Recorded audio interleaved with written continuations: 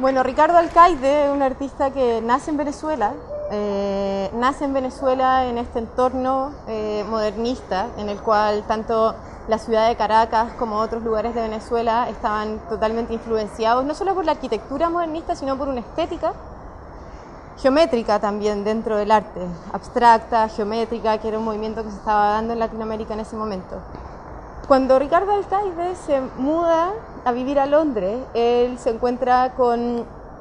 las personas que vivían en la calle, los homeless, los indigentes que vivían en la calle, y se da cuenta que existía dentro de ese como elemento, dentro de su interés por la arquitectura, en, las construcciones temporales que hacían los indigentes para poder vivir, había una tensión con la arquitectura a la que él estaba acostumbrado, que era la arquitectura modernista. Entonces él empieza toda una investigación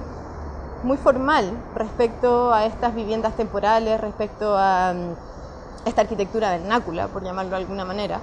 Lo que se muestra en esta exposición en instrucciones y la relación que tiene con el entorno de las torres de Tajamar es que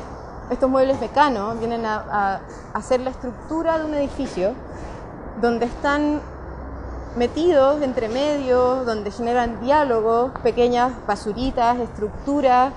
eh, de planos geométricos de color, eh, volúmenes pictóricos también, y que están puestos ahí con la idea de que son cosas del exterior, que están llevadas al interior de la galería, al interior de estos edificios y también eh, que vienen a hacer una, una crítica